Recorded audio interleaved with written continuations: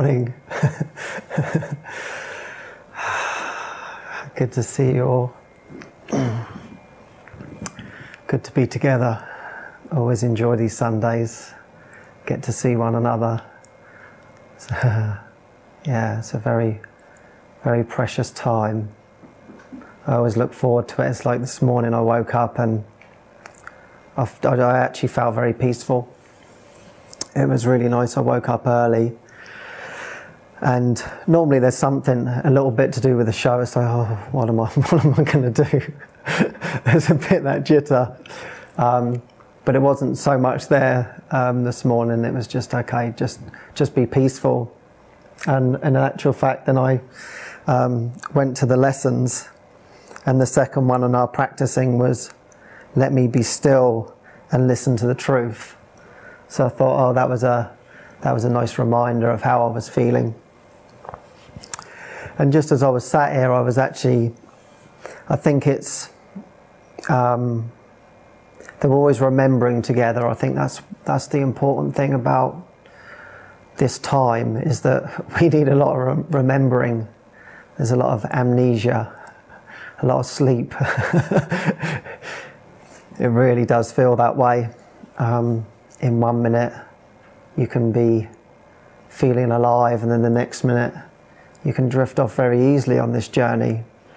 And it's so it's so amazing that the mind can do that, that we can forget so easily our, our purpose um, on this journey. And I feel like these Sundays coming together is always to remember the purpose.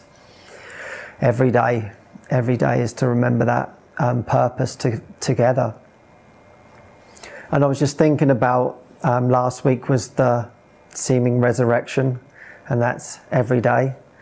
And we watched the movie um, Risen. I don't know whether you've seen that one. Um, 2016 it came out.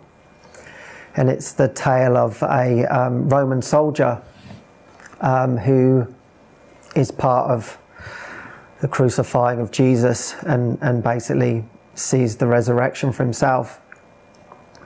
But um, one of the interesting things that I really I, I, I love about that movie is um, one of the scenes when he um, he goes and meets his um, general or whatever you want to call him, and um, he's just been in battle, and he gets into the bath, and he basically asks him what he wants, and what he really wants is he really wants peace.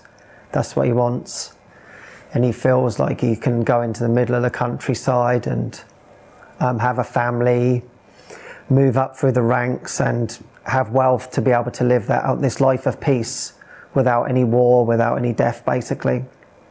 So he puts this strong prayer out there for peace, and he doesn't actually realize what that what that really means. Um, that it's actually closer than than he imagined because he wanted it so strong in his heart. And um, that was actually my my first prayer um, before I knew anything about the Course in Miracles or spirituality. I remember I began, um, I wanted to practice meditation. Thought, okay, this, this seems pretty helpful. And I remember I went down to this local shop. They sold crystals and bits and pieces, and I was in there, and these two ladies were really, really helpful. And they wanted, I said, I don't know, I didn't know anything about it. So they're like pulling out CDs. This one's really good. You can listen to them. And so I'm having this really like beautiful day um, with these ladies and they're telling me about ones that they used in their meditation classes and everything like that. And it was like really, really gearing me up for this. Thought, okay, right, I really want to want to do this. So I, I ended up choosing this CD, and um, they said, "Oh, make sure you set an in- intention of of why why you're why you're doing all of this." Okay, yeah, that's a good idea. And so I walked back home. It was about about a two-hour walk actually, so it was it was kind of nice. It was in the summer, and I got back home and I was really in this in this good space. Like, wow, okay, I'm really going to have a go at this this meditation thing. And I thought, okay, yeah, better better set my intention. And I thought, I just want peace. That was it. I just wanted peace. I think it was just peace from my thoughts. Just, God, I just seemed to be thinking all of the time. Um, mainly about nonsense. so I just want this peace. And um, I remember um, sitting in the chair and I put on the CD, and the CD was for 30 minutes. And I actually went all the way through the whole CD. It seemed like it seemed like minutes, and my whole body was like shaking. And it was just so joyful. It was so wonderful. Um, almost beginner's luck, I think. I had the beginner's luck. I was just open for it. And my whole body was like vibrating. And the only experience I could I could relate it to it was like it was like taking ecstasy, it was like taking drugs really. I just thought, wow. I came, I came out of it and I thought, wow, it's like it's like taking pure drugs. Like you don't have no come down off of this or anything. This is this is great. This is wonderful, and I feel really, really peaceful. It really, really worked. Um, and then, of course, the mind gets in the way and wants to wants to try and learn what meditation is. But in that moment, because I had no no idea of really what I was doing, I was just I was just taken away. Um, and then you start to you start to learn more about these things, and then it all it all becomes it becomes a block. And that's including like now, like the Course in Miracles. Eventually, that that will become a block it will be let go of. It's just to, to aid us now, but everything needs to be let go of. And I think the reason why I'm why I'm sharing that is like it's like I had that beginner's luck because my mind was completely open. And then as time goes on whenever we learn anything we think we know something think I, I know something about this journey or or what I'm doing. And the whole kind of purpose is is I don't know, and it's very hard to to let go of not wanting to know and to open up to something that's far greater than than my understanding of myself. Thinking that I know what what is best for my healing.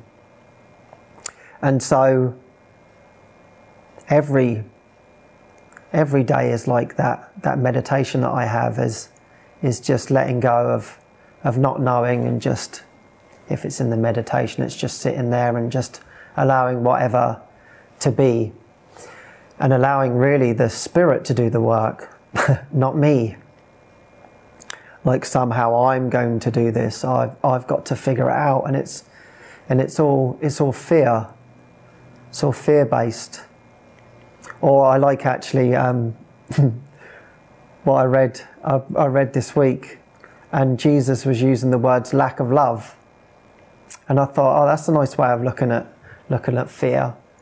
We can say this whole thing, our our whole minds have been geared up through lack of love. So no wonder that feels pretty uncomfortable. Um, it's something that we that we all want, and we've strived for that in the in, in the world. It's a, it's, a, it's a nice thing. We as, as children, it's like you want to be loved. And in actual fact, when before the ego um, forms, like you see how loving children are, they're just completely and utterly giving because they don't see see the blocks to separation. It's it's not really there. And seeing that in animals actually, and one of my um, one of my greatest healers has been um, our dog Benito. he's he's only little, he's a little thing, but he um, he's a he's one of the greatest teachers we've got here. That's for sure. He's beyond he's beyond most of us. he's our teacher, and he will he will give a good reflection as to what's what's happening. Um, and um, he's got a lot of love to give. And it's funny actually, our our journey wasn't always loving together, but it's extremely loving now. I never thought I'd love a dog in my life.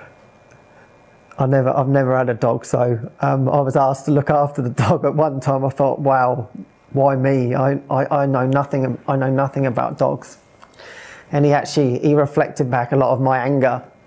He was a, he's a street dog. He, he was picked up outside Guadalajara and although he's only little, but he is really quite game actually. He's not frightened of other dogs. Um, and so I guess that was his like upbringing. So me and him sort of come together. um, these two street dogs, I guess. and um, so I would see his behaviour, and I, and, and and I completely would mirror back to me my own my own mind. And um, yeah, he would get into a lot of trouble. He would pick on bigger dogs, and um, bigger dogs, particularly around in Mexico. Um, there's certain dogs that you you don't want to be messing around with. But Benito, um, he didn't kind of understand that. He likes to be the boss. He likes to be in. He likes to be in control. Um, and so I was having these reflections with him, and we didn't get on very well. um, I I could say I actually hated him at, at a certain time because he was he was vicious, but he was just showing me my own my own attack thoughts. Um, and there was one time I remember when, when, we were walking along, and it was like I just said, "Okay, listen, you you're uncontrollable. You just do your own thing. You want to do your own thing, and I'll just do my own thing. We'll just have to play it like that." and uh, people said he was untrainable, but he but he, he wasn't. He wasn't untrainable. But he was just saying, "No, I wanna. I want to show you what you think you are." That's what he. That's what he did for me. Yeah, I feel very grateful for that dog. Fuck. And so it's almost like even in his swagger, how he would walk up the road, I think, God, you think you're so it. And he's like, Yeah, that's what you that's what you think. it was just all these little nuances that he would do were like reflecting back to my mind. And it's like, yeah, it's time to let go of all that. He was teaching me. And there was this um, there was this particular time when um, I I was going back to England. I was visiting my family at Christmas. And so I left him for a week. Jesus. Oh, God.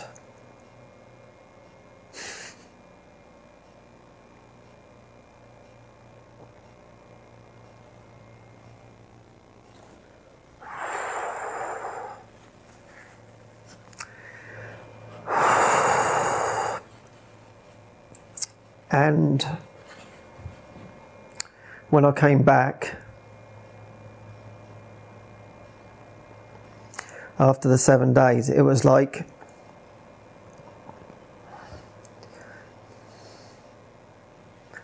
this immense love that he had for me.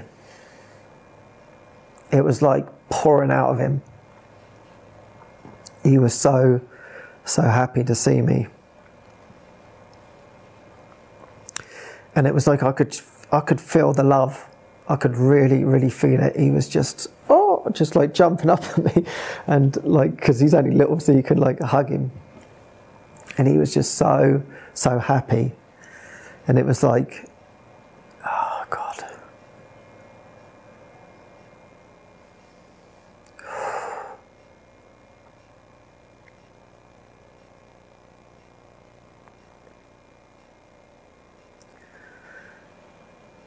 was like time to show the real reflection.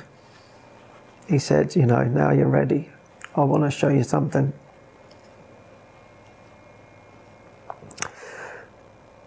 And then in that moment, I said, Yeah, I'm, I'm completely committed to you.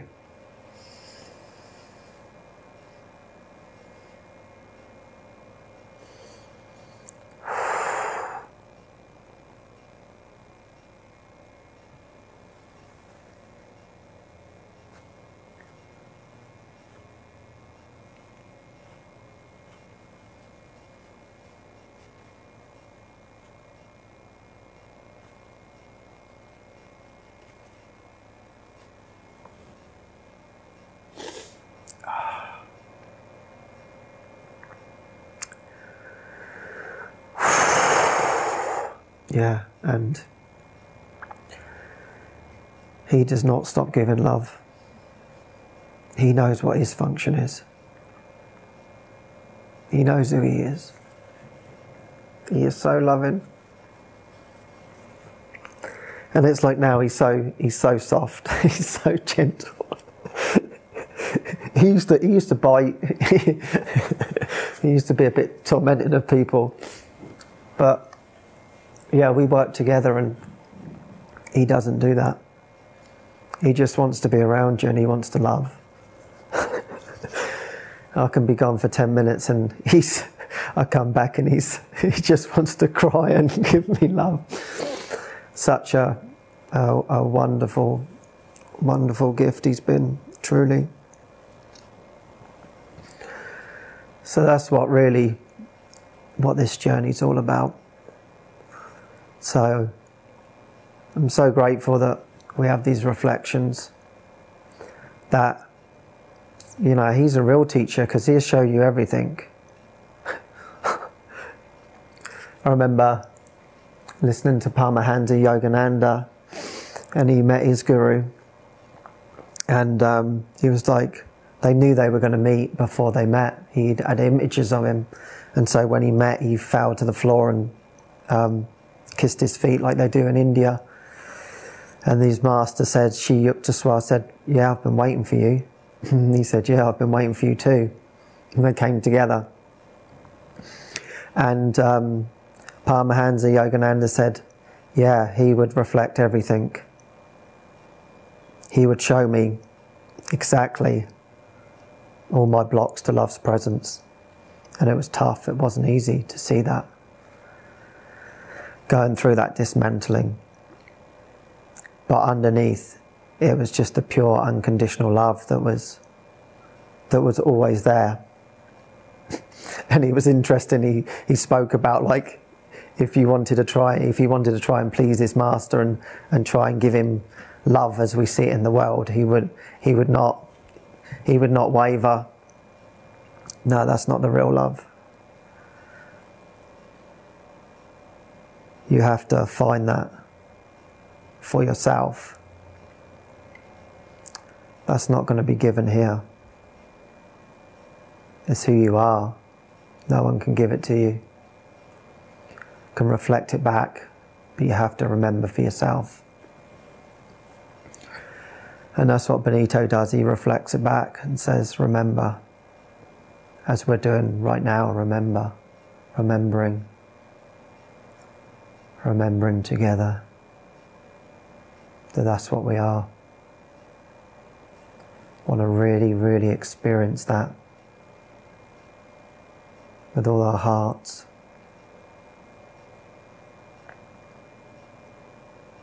You might have someone or or a pet or something that reflects that back to you now. Something that's telling you to go towards the light, to illumine your mind, to step out of this, to find that in your heart, the truth. The truth of what you are. We're not even going to find it in that book. as much as I love that book, it has to be experienced, it has to be known. And so I have to let go of my knowing. really hard. Find that one really, really hard. That I don't know my own best interests. I can see I keep coming back round to this. Just more letting go. More letting go of lack of love and returning to love.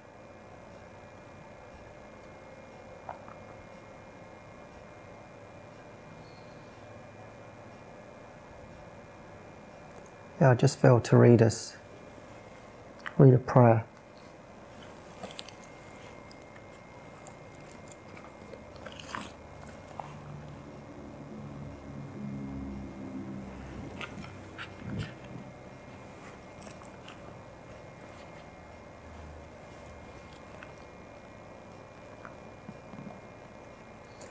I will not be afraid of love today.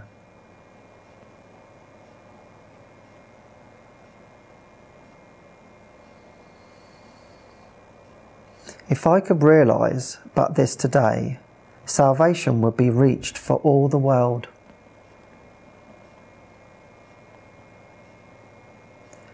This the decision not to be insane and to accept myself as God Himself, my Father, and my source created me.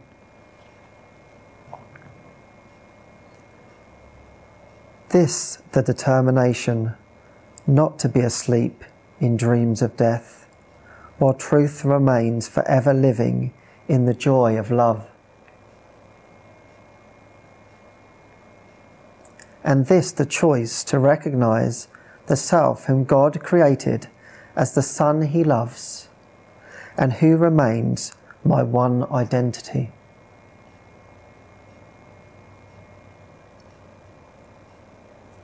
Father, your name is love, and so is mine. Such is the truth. And can the truth be changed by merely giving it another name? The name of fear is simply a mistake. Let me not be afraid of truth today.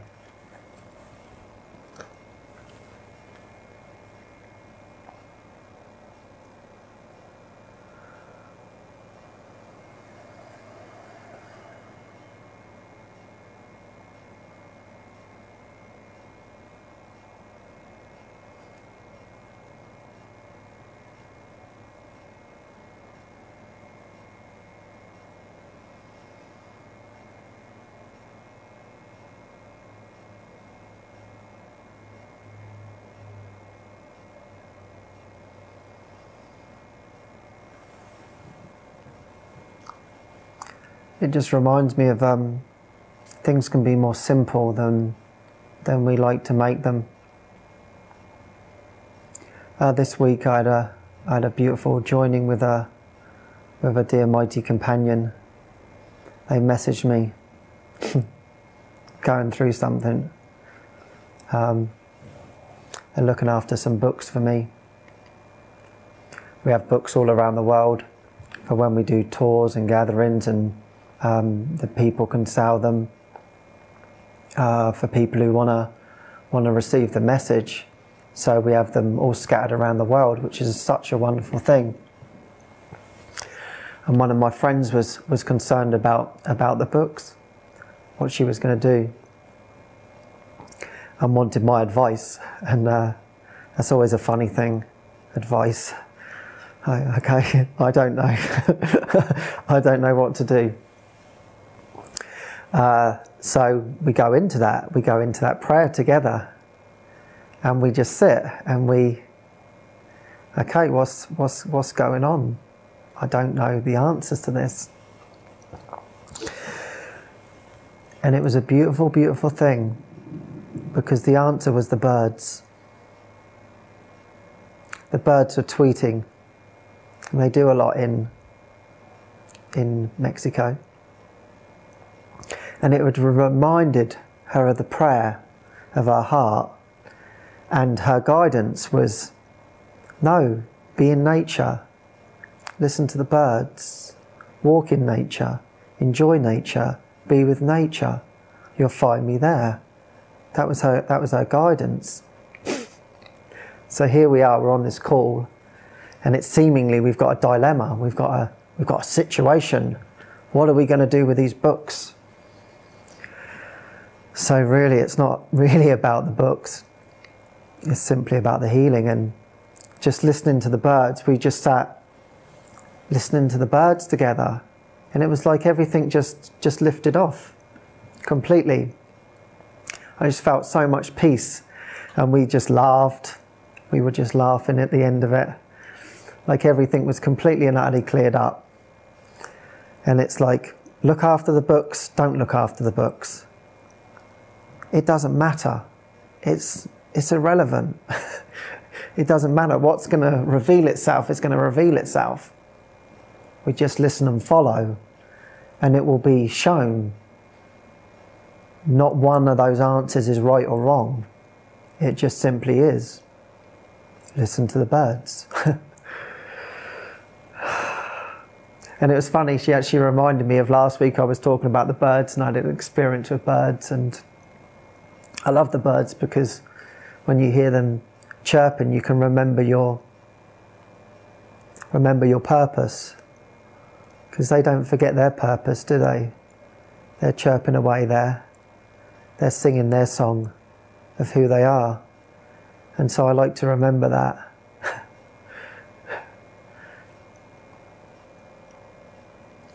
so yeah, it's like these these things that come up. I like to make them complicated, and I like to think that I'm going to figure it out. But in this situation, it was it was the birds that that that helped with that situation. And so we never really know what's what's going to help. Think that we have to really dig into our minds, into the treachery and whatever, and it can be very, very simple. Just listen to the birds.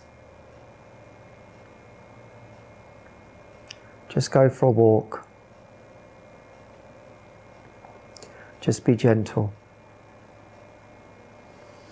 And I think, I think that's a very important lesson for me. It may seem very simple, but I think it's very, very important, particularly on this journey, because we can get pretty hard on ourselves. I can be very hard and and shut down and feel, God, this is so hard and I don't know what to do. And you feel like you're failing. But yet you can listen to the birds.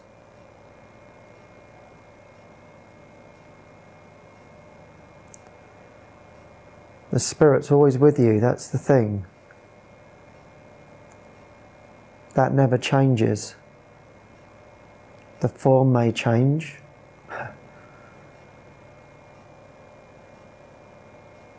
But who you really are doesn't change.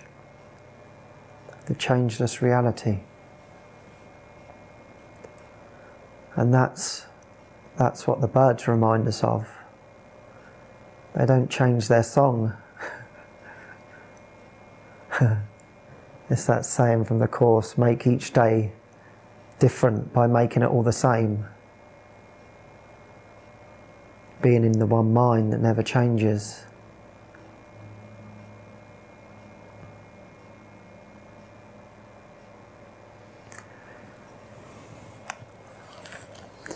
And yeah, I've been having this by my bedside. I've been reading um, from the mystical teachings of Jesus. And the, I, I, I, turned, I turned the book open the other day and I, I turned to this and I thought, oh, this is really, really helpful. And it said, What if I cannot do what you ask? That's a, that's a pretty good question, isn't it, that we all ask ourselves. There can be a lot of fear of, of um, what might happen, fear of the future. What if I cannot do what you ask? You can do anything I ask. I have asked you to perform miracles and have made it clear that miracles are natural, corrective, healing, and universal. There is nothing they cannot do, but they cannot be performed in the spirit of doubt or fear. When you are afraid of anything, you are acknowledging its power to hurt you. Remember that where your heart is, there is your treasure also. You believe in what you value, if you are afraid, you are valuing wrongly. Your understanding will then inevitably value wrongly. And by endowing all thoughts with equal power, with inevitability, inevitably destroy peace, will then inevitably value wrongly and be endowed all thoughts with equal power will inevitably destroy peace. That is why the Bible speaks of the peace of God, which passeth any kind. It denies the ability of anything not of God to affect you. This is the proper use of denial. It is not used to hide anything, but to correct error. It brings all errors into the light, and since error and darkness are the same, it corrects error automatically.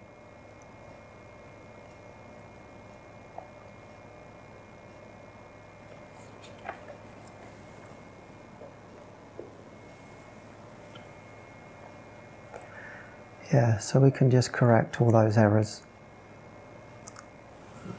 All those errors of fear, we can let them go together. so, thank you so much, as always, for being here. Yeah. Many blessings and lots of love.